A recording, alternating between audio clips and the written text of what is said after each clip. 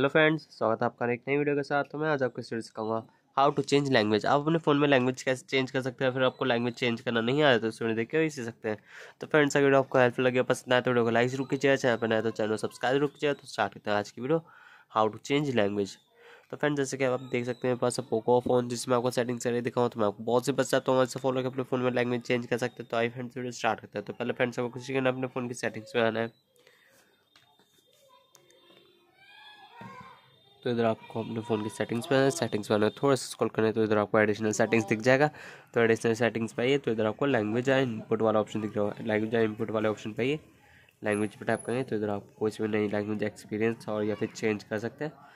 तो जैसे मेरी इंग्लिश या मैं इंग्लिश रहने दूँ तो इस तरह से आप भी अपनी लैंग्वेज चेंज कर सकते हैं। तो फ्रेंड्स अगर आपको हेल्प लगे, पसंद आए तो वीडियो को लाइक ज़रूर कीजिए। चैनल पर नया तो चैनल को सब्सक्राइब ज़रूर कीजिए धन्यवाद फ्रेंड्स मिलते हैं के साथ बैकग्राउंड साउंड हम तय दिल से माफ़ी चाहता फ्रेंड्स धन्यवाद।